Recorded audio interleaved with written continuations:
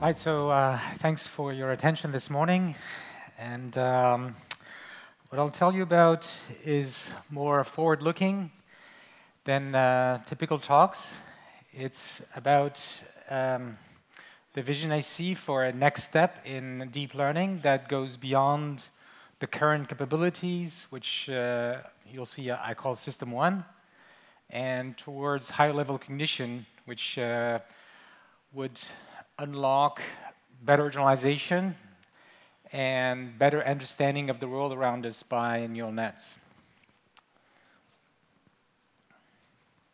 So we've made amazing progress, uh, mostly in perception and to some extent in natural language and also playing games.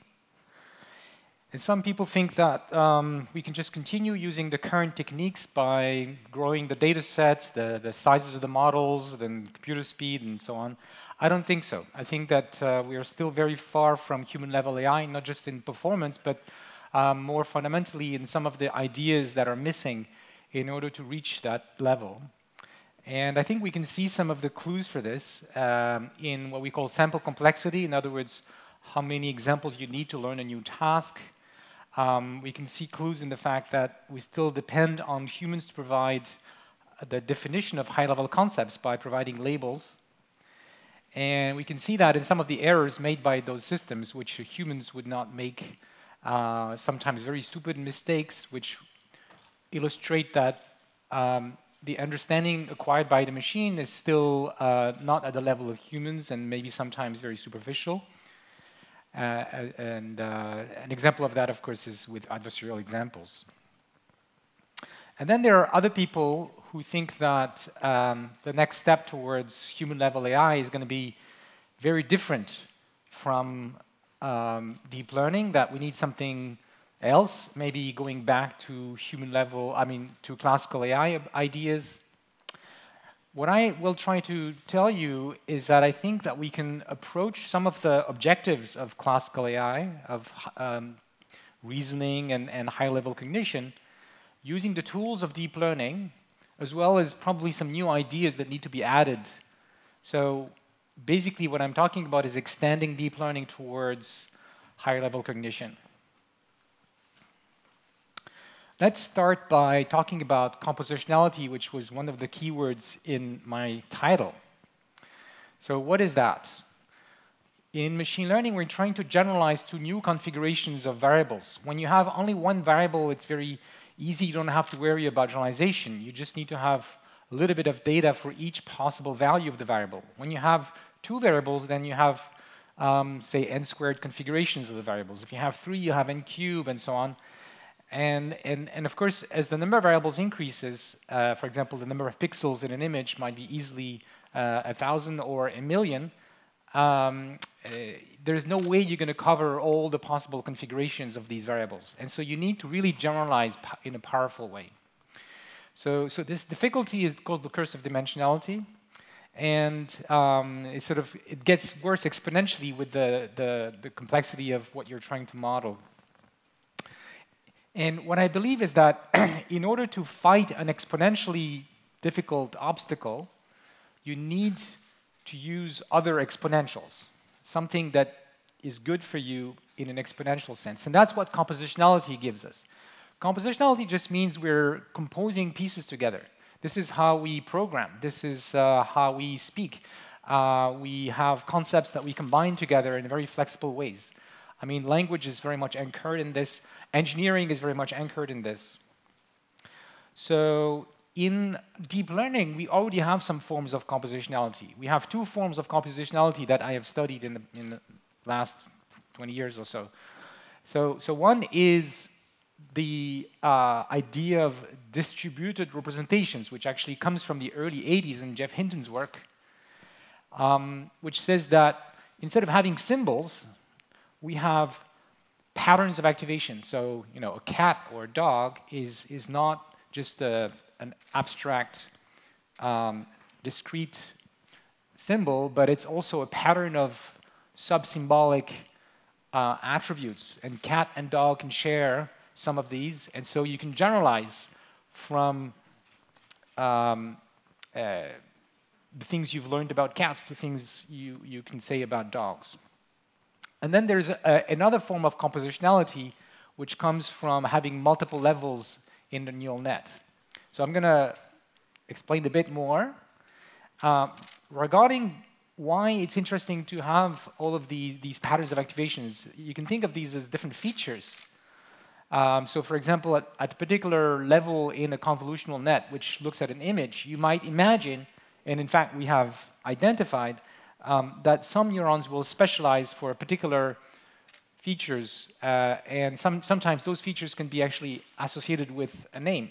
So for example, if we're looking at images of, um, of children um, or of, of humans, um, we might have a neuron at that level that's uh, detecting whether the person wears uh, glasses, and then maybe another neuron is detecting whether the person is a female or a male, and then another one is detecting whether the person is a child or an adult, and so on. And you can see that now, if you have, say, a 100 of these, uh, you can have something like 2 to 100 combination of these attributes. So, so that's, that's the exponential advantage, that once you learn about each of these features, you can generalize to new configuration of those features you've never seen. Whereas in um, more classical statistical non-parametric methods, like uh, kernel machines, in a way you would need to see enough data to cover all of those configurations. So you would need exponentially more data to learn about these things. The other form of uh, compositionality comes from stacking layers on top of layers on top of, of, layers. And the hope that we had when we introduced deep learning at the beginning of this century is that we are able to uh, uh, get these compositions of functions uh, to learn gradually more abstract features of the world. Ideally, we would like these high-level features to correspond to high-level abstractions of the kind we communicate with language, and that we can think of these abstractions as explanations, as factors of variations that are present in the data, just like in my previous example. Um, and it would be the level at which you would like to reason, to do language understanding and generation, to be able to combine the things you already know to transfer to new distributions. So a lot of what I'm talking about today is trying to achieve this dream that we set to ourselves at the beginning of the century with deep learning, which I, th I don't think we have achieved yet. So, so there's been um, a lot of interest in this idea in the last few years. People call it uh, disentangling the factors of variation. But, but I think most of the work is not going in the right direction. It's assuming that those high-level factors are independent of each other. I think that's a too strong assumption. So if, if you take uh, the kind of high-level factors which we manipulate with language, um, like cat and dog, or uh, fork and knife, they're not independent statistically. In fact, they, they get to be combined uh, with very strong dependencies to form sentences. Um, another thing is that is important to keep in mind is I don't think that there's going to be an easy solution to the problem of discovering those high-level factors in an unsupervised way. Uh, of course, we can use supervised learning to tell us what, what they should be, but, but babies, for example, are able to figure these out uh, in a fairly autonomous way, even before they learn language. So I think that the way we're going to do that is combine a number of priors or clues, um, sort of uh, indications that the learning machine can exploit in order to identify those factors. For example, some of those factors um, speak about different uh, temporal or spatial scales. And um, another thing I'll tell you about today is that the dependencies between those factors, even though they're not independent, but the dependencies are simple. And I'll tell you about the consciousness prior as one of the uh, uh, way to express that, that idea. And, and finally, many of the, those factors have to do with agency, with causality, with the fact that um, we human uh, are not just passive observers of the world. We are embedded in the world and we act in the world and we learn from those interactions with our environment. And in, in doing so, we're um, constructing representations where some of those factors, many of those factors, actually are causal variables. In, in other words, they can play the role of cause and effect. Um, and, um, and, and related to this is many of these are aspects of the world that we can have an effect on. So um, what, what I call controllable factors, which is not the case of low-level data like pixels. You cannot control pixels, but I can control the position of this object in my hand. So, so that's why I, I call it an object, and I don't call the pixels objects. So, so there is the question of uh, learning and to discover those factors, but then uh, and basically separate them from the mess which we have with low-level data like images.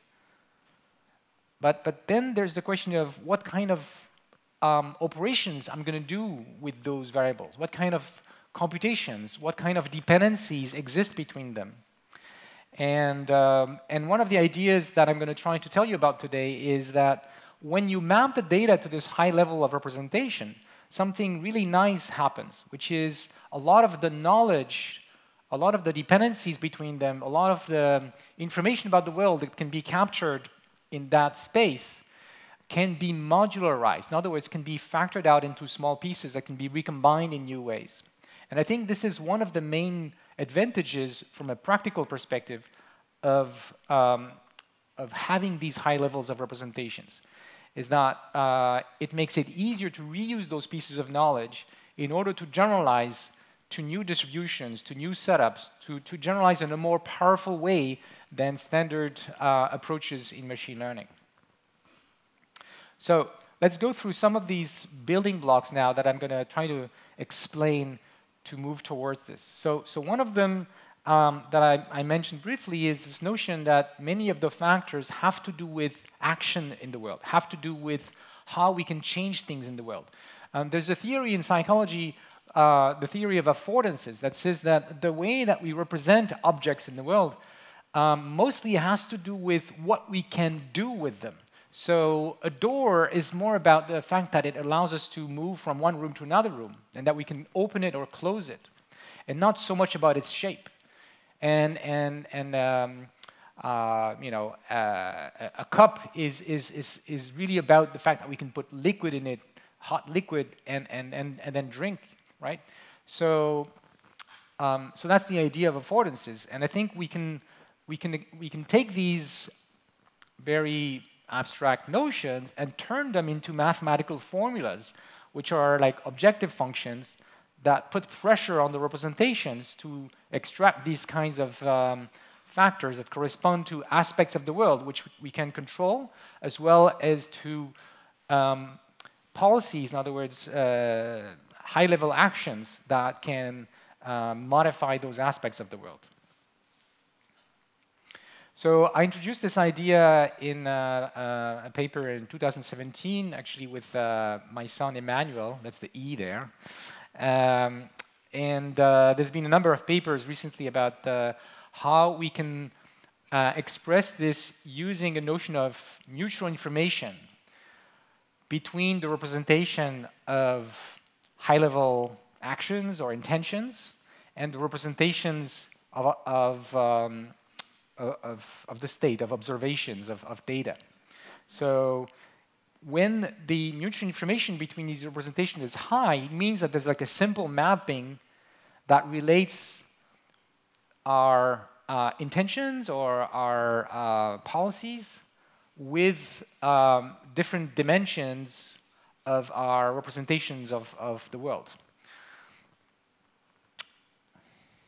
Okay, so now let me tell you about attention mechanism because I believe this is the most important ingredient that we have discovered in recent years of deep learning that will allow us to move to higher level cognition.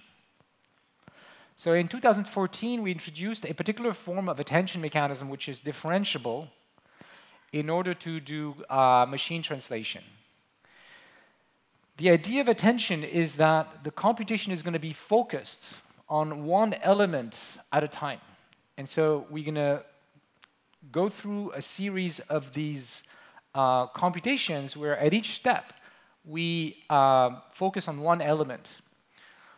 So at each step, what attention does is it selects Um, the form of attention that we have introduced is called soft attention, particularly soft content-based attention. So the soft part means that we can, we can train these things using our traditional backprop methods because uh, instead of having a, a, completely all or none decision about what you select, you, you have a, uh, a sort of uh, uh a probability over different uh, elements that you can select or a weight that you're going to give to different elements. So in machine translation, we use this to, to focus attention on one word or a few words at a time when you're translating and you're trying to find the next word to, uh, uh, to produce. Um, actually, uh, a lot of that work was done with Kyung Cho, who is sitting here somewhere and is, I guess, going to be speaking today as well. Uh, this has been extremely successful and uh, very quickly was adopted by Google Translate uh, just a couple of years after our initial work and has really changed the quality of uh, machine translation. But more recently, these kinds of attention mechanisms have um, entered pretty much all of the state-of-the-art methods in natural language processing, using uh, what's called self-attention, transformers, and so on.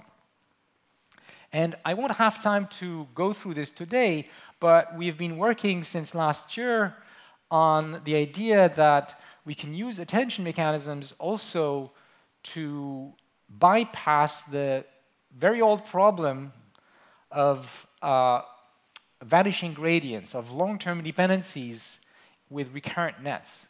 Uh, so that's uh, one of the things I worked on in the 90s that remains an open problem, and I think that attention holds the key to, to really um, um, solving a lot of problems, uh, avoiding the vanishing gradients. And, and yeah, and, and, and the other thing about attention is get, it's, it's also a key to consciousness, uh, as, as I will explain. All right, so now let me, let me say uh, a few words about how we're going to think about the next step of, of deep learning. Um, I, I mentioned high-level kind of cognition, but let me try to be a little bit more precise. Psychologists like Kahneman have proposed a distinction between two kinds of cognitive tasks. System 1 and System 2. System 1 is essentially everything you can do in an unconscious way. So a lot of perception is like this. Everything you do that seems intuitive, but that you cannot easily explain with words. Um, everything that you can do in a habitual way, like driving back home uh, in, in, in, on a route that you know. That's the kind of thing that deep learning does quite well today. System two is about high level cognition. It's everything you do in a conscious way. Usually it's going to be sequential and it's going to go through a series of steps, so using attention. And um, it allows you to do things like planning. It allows you to, to do things like uh, figuring out how to go from one place to another place in a, in a city you don't know by you know, first looking at the map and then figuring out where, what you want to do and then you have to stay attentive while you're driving to pay attention to everything and, um, and, and, and sort of on the fly figure out what's the right thing that you have to do rather than rely on a um, more habitual type of policy. System 2 is also what the classical AI based on symbols and logic was trying to achieve, reasoning. Um, and so this is the kind of thing that I'm going to tell you about, I think we can uh, extend deep learning towards. Um, one of the subjects that uh, I'll touch about, which is important, is that I don't think we can do uh, just system two. We have to do both of them together. And whereas system two really is, is highly uh, linked to natural language, um, if we try to only uh, take the ideas of system two uh, alone without anchoring them in system one, I think we're going to fail. So, so I'll tell you later about grounded language learning, where we're trying to build systems that understand their environment and um, can also communicate about it. So you have both language and a model of the world. Why I think that System 2 is important in a practical sense, I mean, besides being exciting because it's sort of the next frontier of cognition, um, is because it, it introduces a form of, of uh, compositionality which comes in addition to the ones I told you about that deep learning already has. And, um, and that form of compositionality that what allows you to figure out a new path when you go to a new city, um, it allows you to generalize out of distribution, to generalize in a systematic way, recombining the concepts you already know. Okay, so in this slide, you, you have a lot about the, the, the, the heart of the sort of plan that I'm trying to lay out for you for um, uh, advances in, in deep learning towards system two cognition. So let's go back to um, um, attention and, and consciousness, actually. So what is a thought? If you do a little bit of introspection, you'll realize that a thought is a very low-dimensional object. In other words, a thought only refers to very few, very few aspects of the world. And so there's got to be a mechanism that selects which, as which aspects of the world which you could think about and brings them to your consciousness um, uh, and sort of selects them and, and puts them together into a thought. And then maybe half a second later, you have another thought, right? So, um, so this is, we're talking about something different from um, uh, what we've been doing with deep learning up to now. All right, let's talk more about consciousness because this is a word that a lot of people hesitate to use, and I can understand that because it remains a little bit fuzzy what it means. And, you know, for many decades, if not centuries or thousands of years, it's, it's been a subject mostly of study by philosophers. So now I think we are at a cusp where computer science can start thinking about consciousness as a form of computation. You know, there's pretty much a scientific consensus that your brain is a machine. It's a very complex machine, probably stochastic, and um, part of it is the computation you're doing that makes you conscious. It'd be really important to understand what that computation is because um, it might help build more intelligent machines. Actually, when we use the word consciousness, we're often referring to different types of things that may be related to each other, but um, maybe we need to disentangle a little bit. So, so there's at least three things that people talk about when they talk about consciousness. There's what's sometimes called access consciousness. So that's a, a lot of what I'll be talking about today. The, the fact that you know, a thought um, selects on a few aspects of the world that you're going to be somehow operating on. Um, and you're going to be able to use this to plan, to imagine, uh, to influence your actions and we know from neuroscience that these conscious thoughts um, have a huge influence on the computation going on everywhere in the brain. Uh, it's kind of information that is broadcast to the whole brain. And it allows to unify a lot of the computation that is going on in the brain.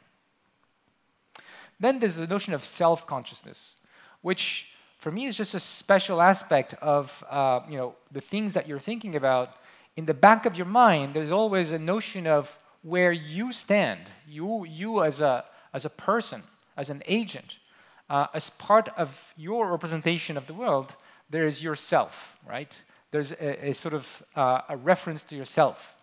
And sometimes that includes the social consciousness, like what's my role in a group, what's my role in society, um, and, and how that might even be related to things like moral values.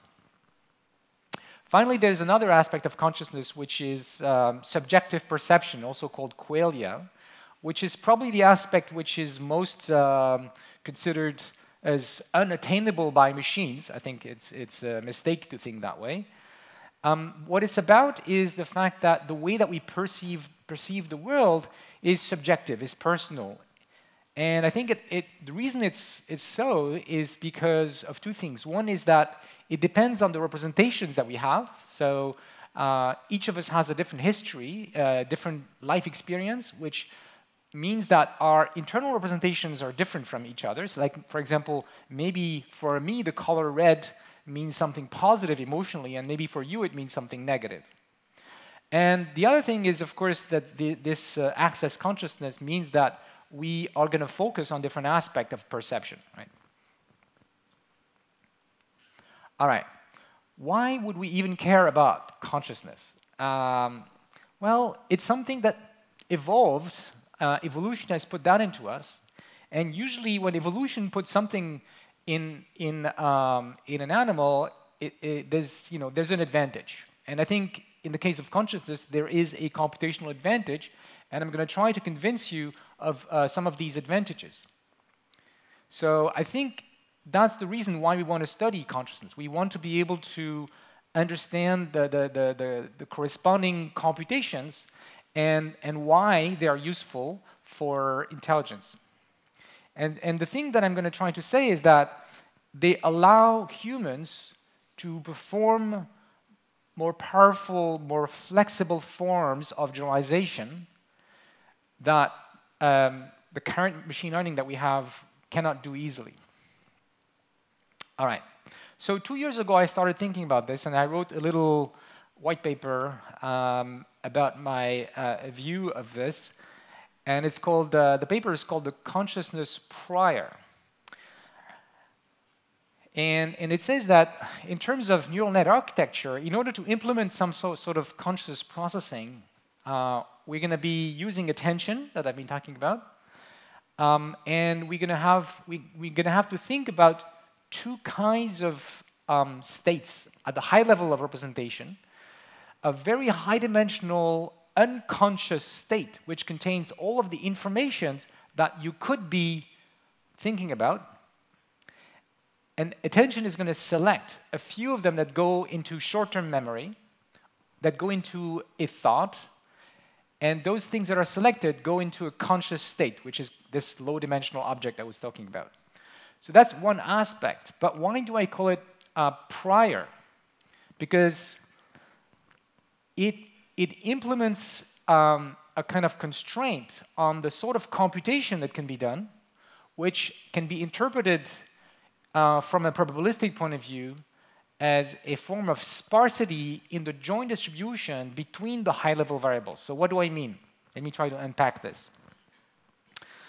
Um, normally, in machine learning, what we do is we learn joint distributions. And, uh, and, and they could be arbitrarily complicated. But, um, but there's something special about the way that high-level concepts are interrelated to each other. Um, we can take a few of them and form something like a sentence, like, if I drop the ball, it will fall on the ground. And you can think of that as like as a rule. Um, and it says something very powerful. In other words, that has a high probability. But it can do that using very few variables. Like just the number of words here is small, right? And so, so this, this ability to capture um, highly probable events using very few variables at a time into pieces of knowledge that are separable from each other, like these sentences. That's a very powerful uh, attribute, but it, it, it corresponds in, uh, in a graphical model, so this, these forms of uh, representations of the joint distribution, to sparsity of the structure of the graph that relates the variables together. So, so we call these uh, factor graphs that, that would be appropriate here to talk about the joint distribution. And it would say that each of the factors, each of these rules, involve very few variables at a time. Okay. So um, there's another nice thing about uh, conscious consciousness and thoughts is that we can communicate them. In fact, the way that consciousness currently is studied in, in psychology and neuroscience is by asking people, what were you thinking about? What did you observe? What did you perceive using language? That's why it's hard to study consciousness in animals. Um, we still study consciousness in animals by trying to find neural correlates of you know, when a human is reporting uh, about some conscious thoughts, what is going on in terms of neural activity, and then seeing the correlates the similar activity in, in uh, animal brains for similar tasks. So there's, there's a very strong connection between consciousness and language. And, um, and I think this is something we need to exploit in machine learning as well. Because remember, one of the biggest, most important applications of machine learning is uh, being able to have machines communicate with humans in natural language. So, so the fact that these high-level representations that I would like us to discover with our new machine learning methods uh, have the property that they're connected to language through a very simple mapping, like it's like each of these high-level variables correspond to a word, um, is a very important property. And, um, and uh, yeah, I think it's going to be key to progress in natural language understanding the progress in, in uh, these uh, um, high-level cognition uh, abilities and representations. So there's some interesting questions about how we should use natural language uh, or uh, to, to, to guide the uh, discovery of these high-level representations. If you think about it, right now, the way that we put high-level concepts in neural nets is we use supervised learning, where we, we tell the machine, uh, this is a cat, this is a dog, this is a chair, and so on. And um, it's, it's, uh, it's actually one of the reasons why supervised learning finds really good features, because we're using language to help push the, the, the neural net, the encoder, to develop good representations, because these representations are now going to be um, uh, strongly linked to those high-level concepts. But we would like machines to also discover concepts by themselves, just like humans are able to. Um, so there's a question of whether, if we're going to be learning uh, jointly about how the world works and how to name things in the world, we, should we like first have models that first uh, figure out how the world works, like just not in a non-linguistic way, and then kind of put tags, put names on, on the, the things that it learns? Or should we learn these two things together? My inclination is that we want to learn these two things together. I mean, babies only start speaking after one or two years, um, but even before that, they are getting a lot of linguistic input. So, so last year we worked on um, one of these uh, projects that combine learning how the world works and learning how to communicate or, or to understand uh, natural language sentences. Uh, so, so these sort of projects are called grounded language learning. And uh, our paper was uh, presented at the ICLR conference last spring. It's called Baby AI. And um, the idea was we would have uh, this very simple environment with all kinds of objects uh, it was uh, a partially observable environment, meaning that the agent only see parts of it, which is the, the grayed out zone. Um, and it would have a language that is compositional. So the, the way that uh, language comes in is that the agent has to solve a mission, like in a video game, and the mission is specified in natural language.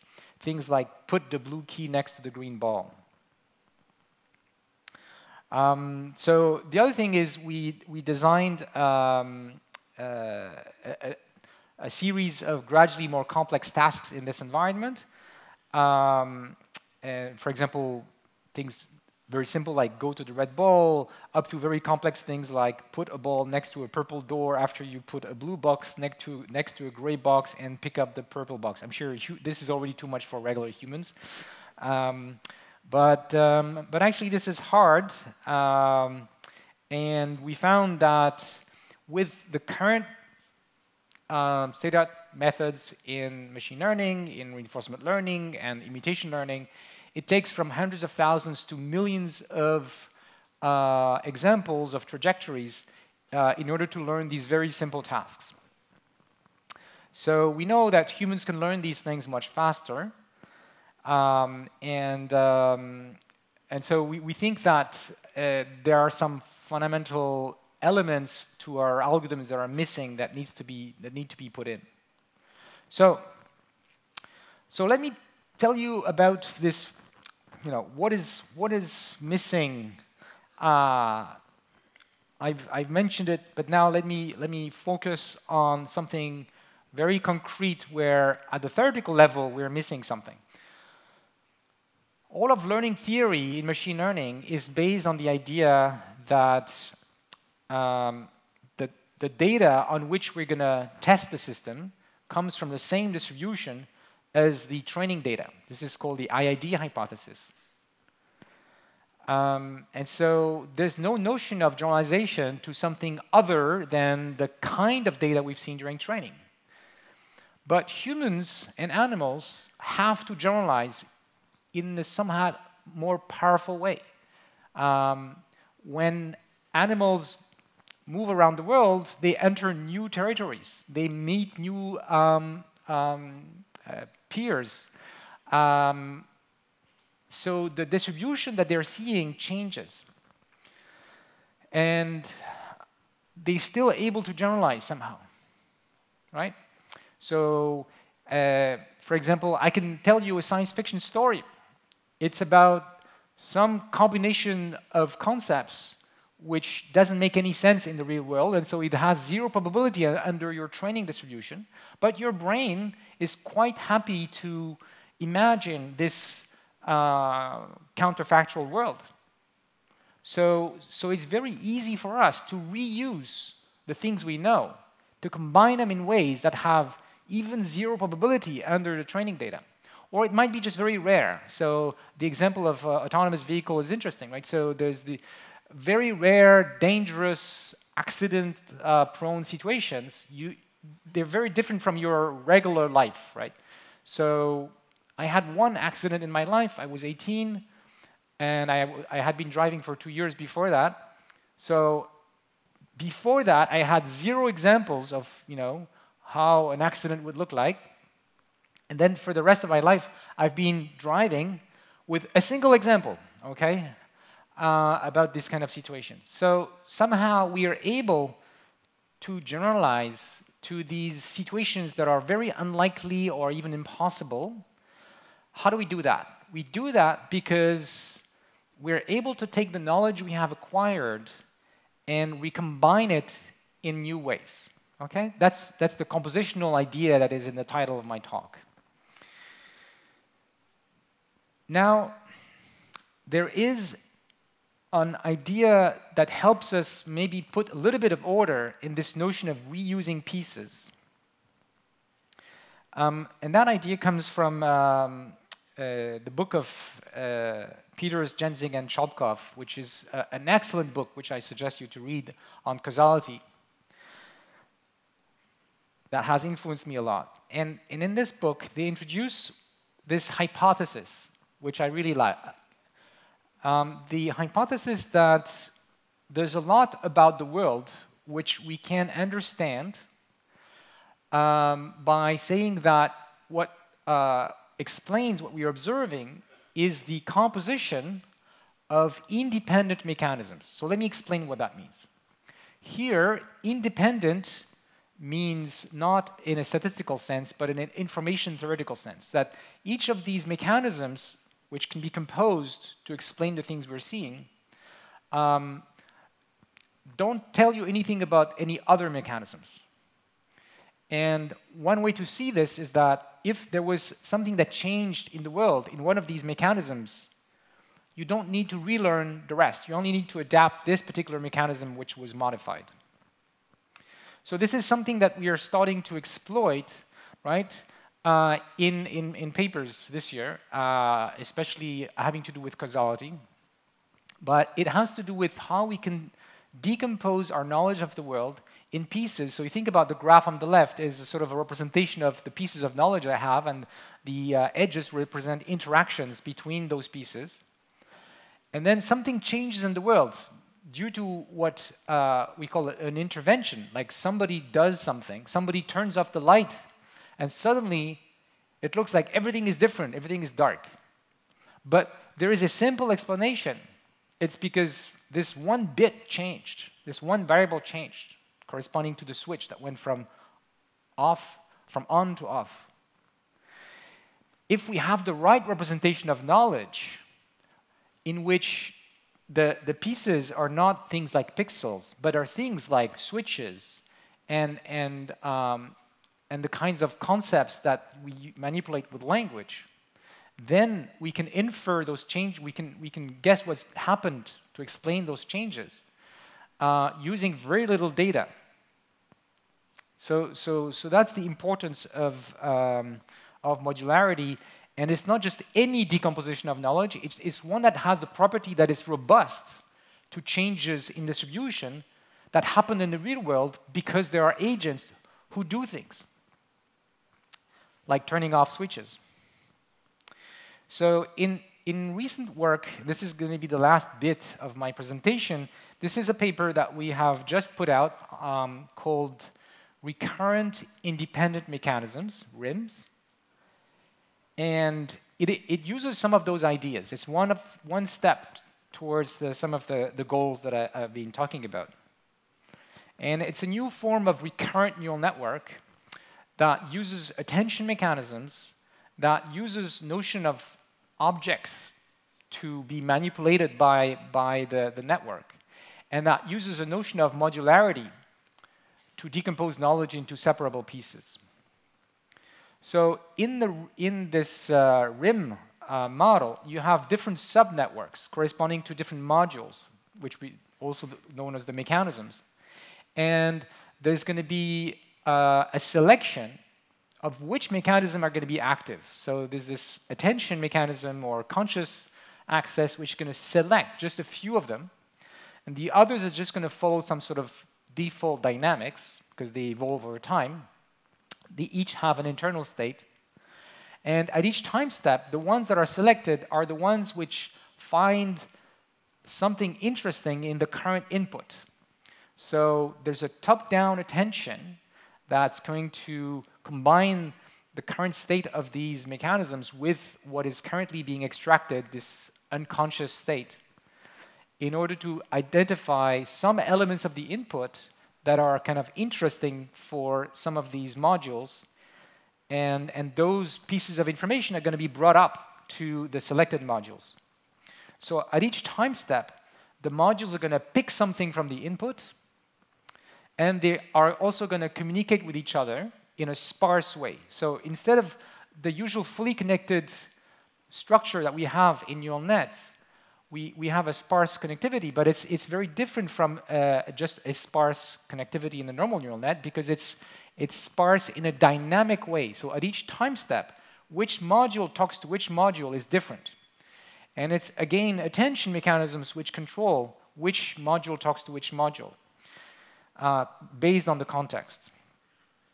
And the other big thing about these networks is that they uh, their inputs and their outputs are not the usual high-dimensional vectors that we have in neural nets. So, you know, think about layers of a normal neural net. It's like one vector in, one vector out. Here, the inputs and the outputs of these modules are sets of vectors. And we can think of these elements in those sets as corresponding to objects. So, so those neural nets. They take objects as input and they produce modified objects as output. Okay, I'm not going to have uh, a lot more time, but let's just give you give, let's, uh, a few um, examples of uh, this working surprisingly well. So we've done, in particular, tests of out-of-distribution generalization, where we train these recurrent nets on various classical tasks, and we uh, then test them on versions of these tasks uh, corresponding to uh, longer sequences or larger images. And they, they generalize much better than existing methods at these out-of-distribution um, benchmarks. We've also tested them as uh, a replacement for LSTMs in, um, uh, in, in, reinforcement learning agents that play Atari, and we found that they work a lot better than the traditional LSTM. So everything above the, the, the, the bar, uh, the zero, uh, corresponds to a game where our uh, RIMs do better than LSTMs on, uh, uh, as part of a standard LSTM PPO baseline for reinforcement learning in Atari. So each of the columns correspond to a, one of the Atari games. All right, so let me uh, try to conclude. Um, I think that we're building up a series of tools to help us construct higher-level cognition and introduce notions of consciousness in machine learning.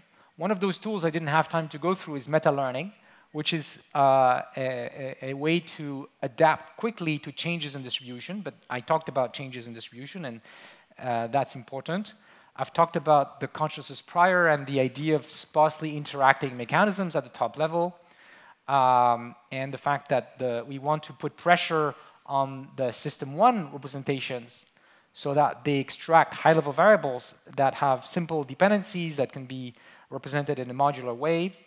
Um, and another aspect that I didn't have much time to talk about, but I talked a little bit at the beginning, is how this should be, system one and system two should be tied together uh, so that agents can acquire an understanding of their environment, a world model, as well as um, um, a way to communicate about it, and then use this for reasoning and planning. Um, this is some work that is ongoing in my group. Uh, before I close, I want to mention that what we're doing here, um, I think, should be put in the perspective of what's happening in AI as our research goes out into the world and changes the world. And it can, it can change the world in positive ways or in negative ways. And I think that researchers and engineers have a responsibility to think ahead of how their work is going to be used, for what purpose, and who is going to help, who is going to be helped by this, and who might be hurt by it. Um, so one of the things we can do, besides avoiding working on things um, that, could, that could be nefarious, um, is to work on applications that are going to help um, the planet, for example, improving healthcare, education, fighting climate change, and so on. And recently, I've co-founded an organization called AI Commons, which is going to try to help coordinate these AI for social good projects around the world. Thank you very much.